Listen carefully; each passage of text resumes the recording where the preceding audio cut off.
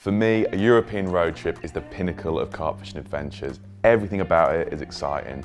The different venues you visit, the outside the box angling methods you utilise, the incredible fish you encounter and just the general mystery of the whole thing. I normally try and get over to Europe once or twice a year at the very least. I've been going over there since I was 12 or 13, but I still get as excited for every session I go on as I did for those very first sessions. Unfortunately this year, with the coronavirus pandemic, plans had to be put on hold a little bit. However, around July time, we got the all clear that we could go over to some place in Europe without quarantine on the way back. Made a few phone calls to friends in um, Germany and in the Netherlands. Before I knew it, the van was packed and I was on my way to Folkestone to go on my own European adventure.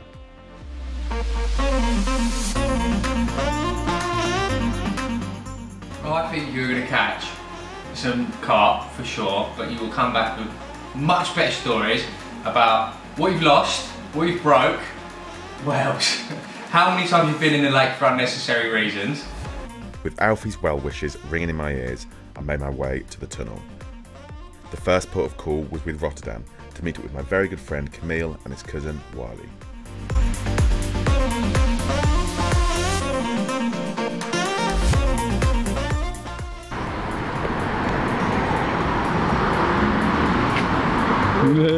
Hey!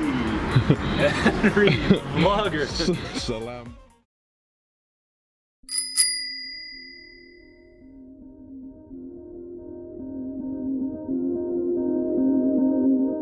For the first few days, fishing wasn't at the front of my mind. I was just happy to spend time catching up with old friends, exploring the city, and enjoying the sun. With this being said, we did spend one afternoon in the pursuit of big perch and zander.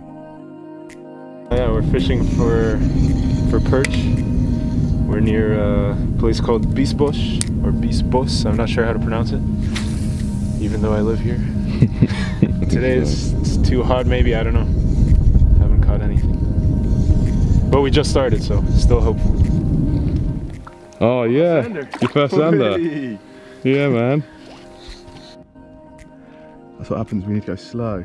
Yeah, I was going so slow as well. There we go. Right. We just, I just lost a huge one, man. Just as after Camille Zander, we decided to start bouncing really slow along the bottom. First run with a new lure, I wanted something a little bit shinier, so I'd gone for um, something with a bit of silver on, bouncing it along, and something just absolutely nailed it. Felt these head taps, struggling to get my back wind on, it's taking loads and loads of line, have it on for, what do you say, 15, 20 seconds, something like that. Yeah, yeah. It just, oh, there's something there. It just felt huge, and then, yeah, the braid cut on one of the rocks, I think, down there. Yeah, all we can do is get a lure back out there and see if we can get one, but two fish now and two casts, isn't it? So Yeah, yeah.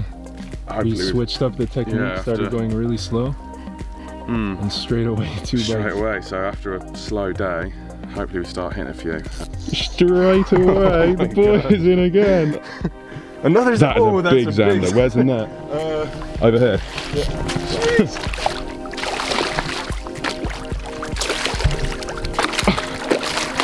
no. yeah. yeah, man. man. Oh, nice. I reckon it in numbers. Look how hard down they're taking. I don't know if you can see the GoPro. Look at that. Well done, man. Thank you. Alright, so it's the second fish of the day. We were just casting in the exact same spot that I caught the first one. Henry lost a massive one in that spot as well.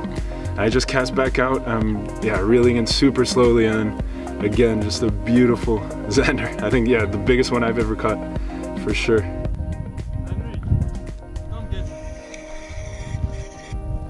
It was, it was here, just, just, just.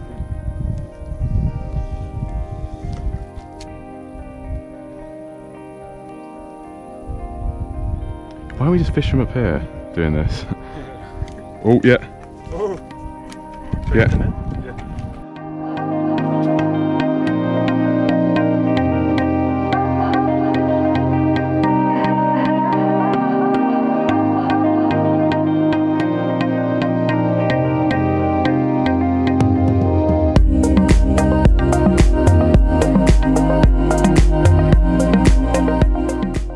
Well, not the big zander that I was after, not a big perch either, but a cool little pike.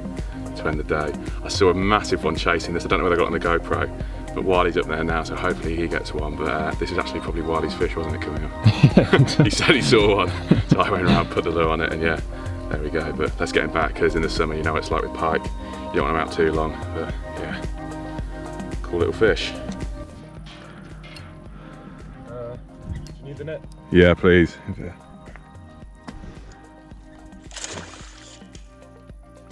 Yeah, boy.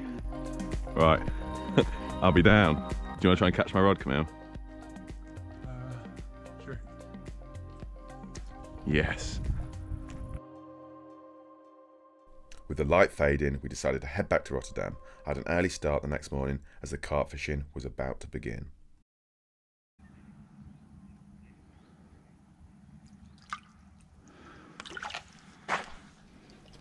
So after a few really nice days in uh, Rotterdam with Camille and Wiley, the serious fishing is about to start. I've just pulled up at the lake. Um, it's a it's a lake that I've sort of just found on Google Maps a couple of years ago, and I've fished it a few times, caught some really nice fish from here. I don't even think I've scratched the surface. So it's one that's always been in the back of my head, always one that I've I've wanted to go back to, fish more, and really find out what's actually in here because I'm convinced that there's there's some there's potential to be really really big carp in here. Um, I'll talk about the lake a little bit more. I've just got here, like I said.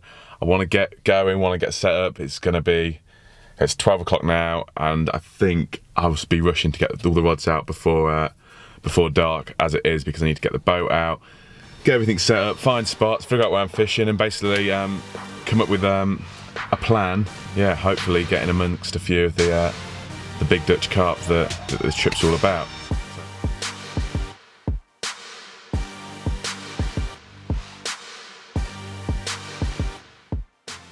This is really nice. So at the moment I'm thinking I'll fish there, one rod, a snide rod there, and then three rods, one to mid water and then two along there. Um, let's just go up here just to double check and then we'll go down the far end, but as it stands, I think that'll be base for the next four days. Doing this sort of fishing, especially when you're doing it relatively blind, I know, I mean I know I've had a few before here, but other than what I've learnt myself, it's quite hard to know what's in these lakes.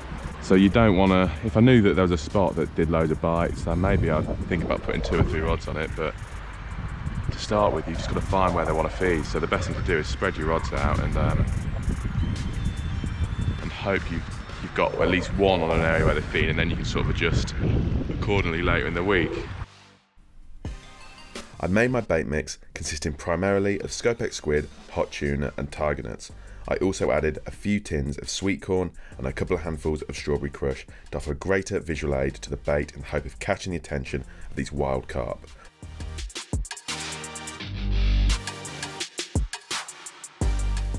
Rigs were quickly tied and I was out in the boat again to drop them. I baited all three spots with a good helping of free offerings, enough to hold a few patrolling carp for an hour or so were they to come across any of my spots.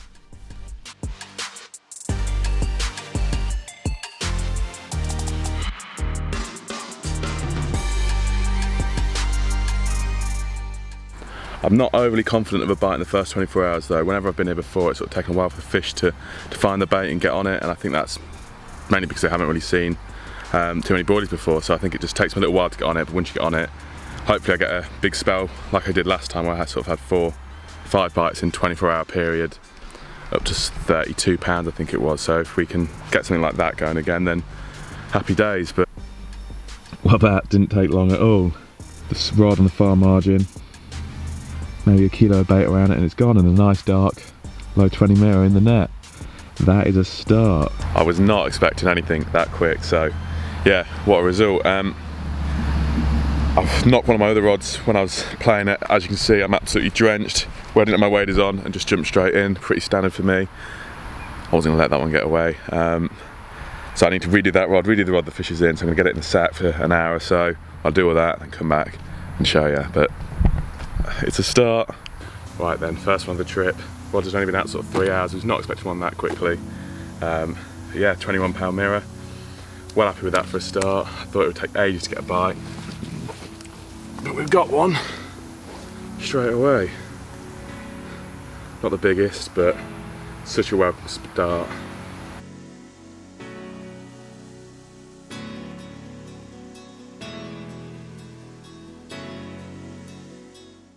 With my t-shirt drying in the fading sun, I decided to sit back and enjoy my first sunset at the lake.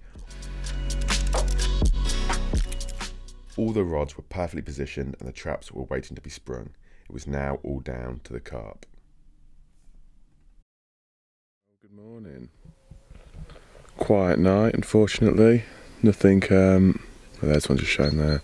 I got nice and early, just been watching the water, just sort of stood in the lake of my waders and there's quite a few showing. It's hard to say whether they're big bream or carp or not, but sort of just coming up and going straight back down again.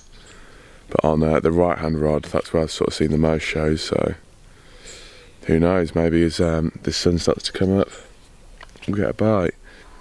I'll just bosh there, down that margin. I was definitely thinking of putting a rod there, I was just trying to figure out how basically from here. Because it, there's like a nice snaggy bush that you'd think they'd definitely like to get in. However, I was then paid a visit that would result in a drastic change of plan.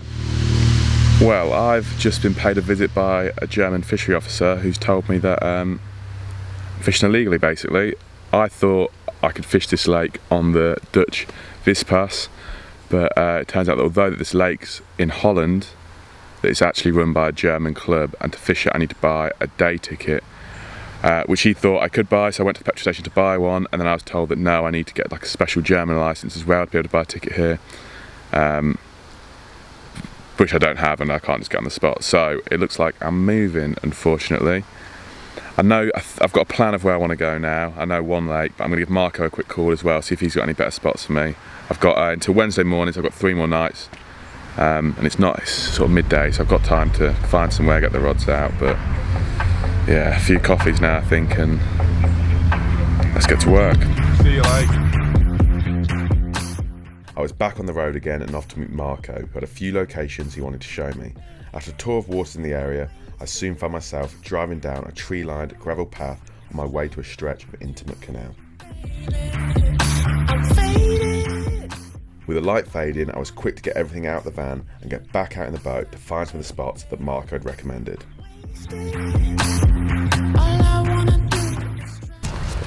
Oh, good. It is good. That spot there feels really good. Critically balanced hook baits were attached to fresh rigs and I was ready to drop them from the boat.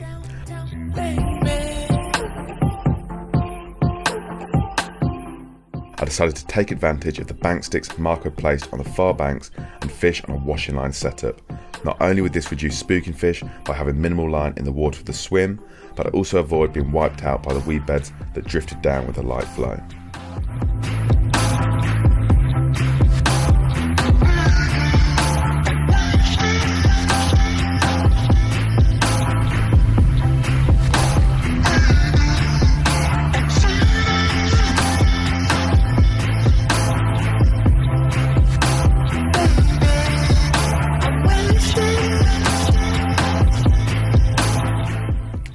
Both rods in position, it was time to sit back and enjoy a beer or two with Marco.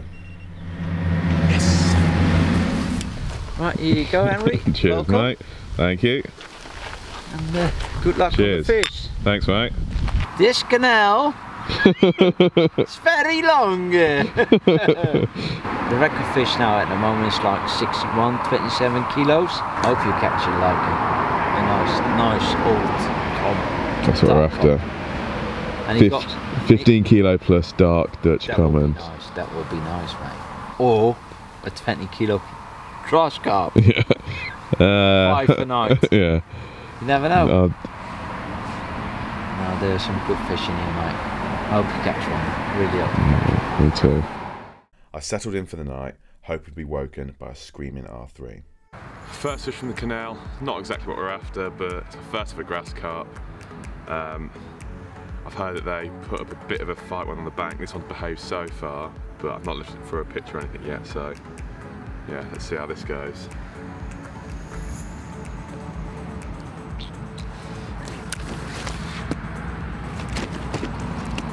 Not great. There we go. First of a grass carp, first fish from the canal stretch Marco put me on. Weird looking things, like massive chub. I'd say 20 to 25 pounds. Let's get him back. The day passed uneventfully with no action on either rod. Camille and Wiley decided to come down for the evening to sample night fishing for the first time, as well as having a barbecue. Once Camille figured out how to assemble it, that is. Là, là, là, c'est le mien, c'est le mien, c'est le mien, c'est le mien. Camille, Camille, Je l'ai Camille. déjà. Camille, Camille, Camille, Camille. Stayed up late into the night, talking around the fire and eating burgers. I felt like conditions were good for a bite, and I was desperate to show the guys a decent carp in the morning.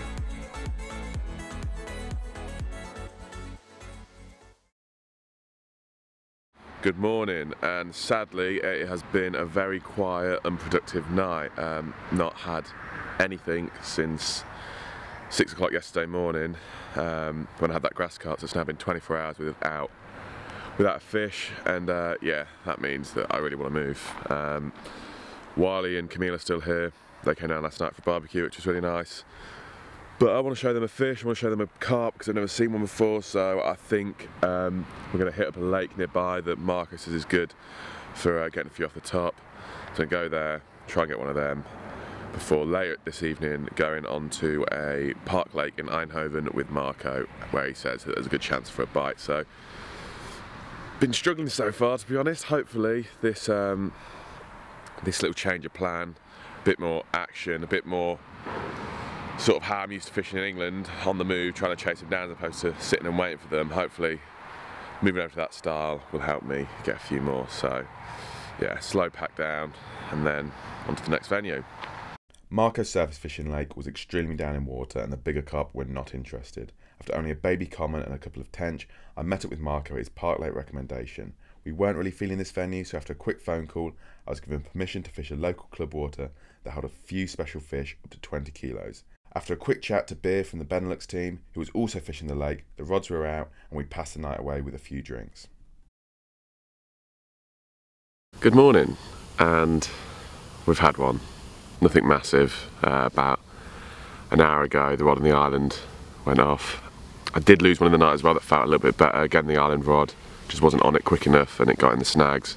Well, actually, I hooked it, started walking backwards, pulled it away from the snags, felt it sort of come away, it just went on another run, and I just felt it clip around something, and then yeah, just locked solid and I couldn't do anything. Um, just went to do pictures. My cameraman Marco is still sound asleep. I think the uh, summer socials are getting to him, but um, yeah, go wake him up, get some photos. Oh, you dickhead! Fuck's sake. Well, quite clearly, not the 20 kilo fish I'm after, so the quest for that one continues. But nice to finally get one after a couple of nights blanking. We've got a few hours left, so we're going to go to the other side where I've seen quite a few show, and Beer had a few in the night. Fingers crossed for something a little bit bigger than this. I quickly packed my gear away and loaded it onto the barrow to make my way round to the opposite end of the lake. I wanted to jump into Beer's swim as it was clear that there were a good head of fish in the area. that you have love in places I can't describe. Yeah. I need. Well, it has been such a difficult day. I've just tried everything I can think of, more or less. We've just put the drone up, we're watching the sort of fish swim past my overdepth zigs, not bothered at all um, by it. And all of a sudden, the six foot zig in about, it's about eight foot of water has just gone off, keeping quite deep. But this has been harder, and I've got to say,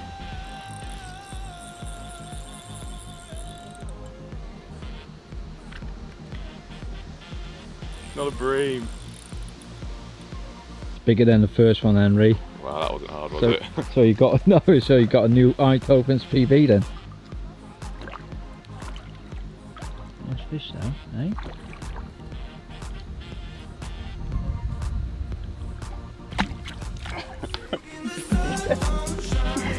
yes! Oh, that's been so much effort. I've worked so hard for that. Oh my god.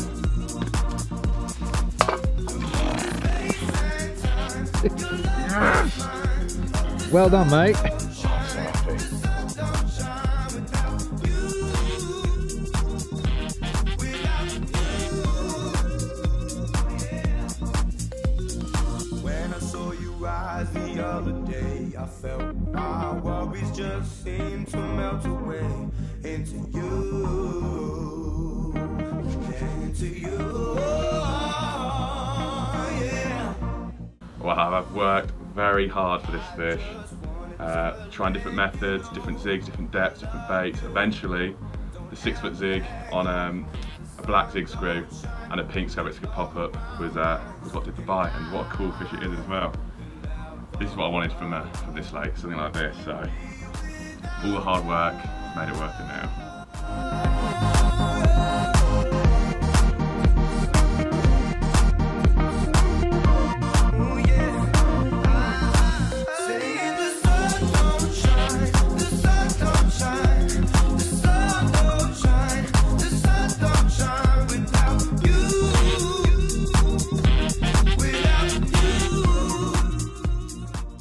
Fish still present in the area, I dispatched two zigs as tight as I dared to the snaggy bush they were located around. Beer isn't used to zig fishing and found the whole concept a little bit alien. Wat denk je nou wat er allemaal gebeurt hier aan de waterkant? Dat is toch mentaal gewoon, hè? Heel mentaal. Ik word Heel helemaal gek mentaal. van. Ik weet niet wat er gebeurt hier. Nee, hè? De Engelsen laten er even zien hier. Of niet? Ik ben er ziek van. I managed another bite shortly after recasting, but as is the case sometimes when snag fishing, the fish won this battle. Gone. No! You got to put that pressure on, haven't you? Like, it's the risk, but it is what it is.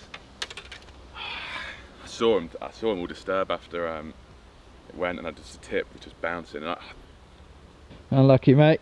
On to the next one. go again. However, there wasn't to be a next one. After this bite, the fish activity started to die off. We decided to call it a day. I drove back to Rotterdam with the plan of meeting back up with Marco in a few days' time.